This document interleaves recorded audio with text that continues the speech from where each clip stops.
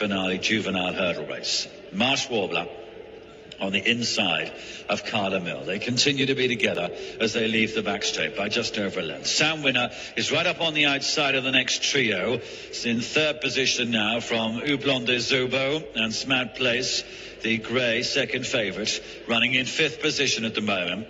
Dola Tulo and Flighty Frances the next two, and two or three lengths away to the yellow colours of Royal and Ancient. One of the 100 to 1 chances has begun to struggle. Coming into the home straight then. Five furlongs or so to race from here. And Marsh Warbler with Sam Winner on the extreme left as they move into the straight. Smad Place on the extreme right.